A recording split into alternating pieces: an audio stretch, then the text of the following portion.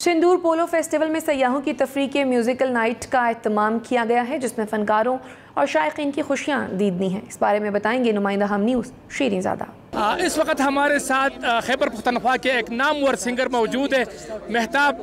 वो मुख्तलिफ़ ज़बानों पर अबूर रखते हैं पश्तो ज़बान में भी, चतराली ज़बान में भी।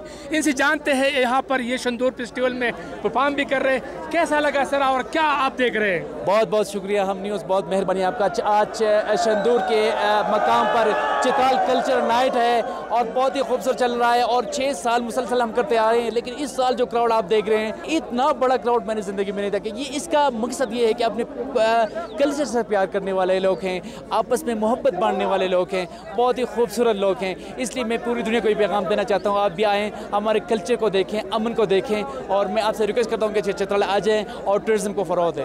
एक गाना थोड़ा सा एक मतलब डेलीगेट करें अपने नज़र के लिए। गम दरुख मावाया खदर तयादी गम दरुख मावाया खदर तयादी गम दरुख मावाया।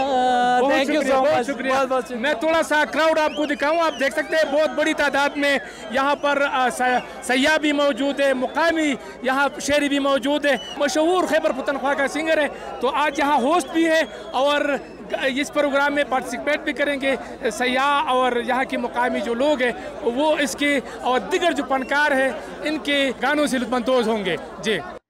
Pakistan Broadcasters Association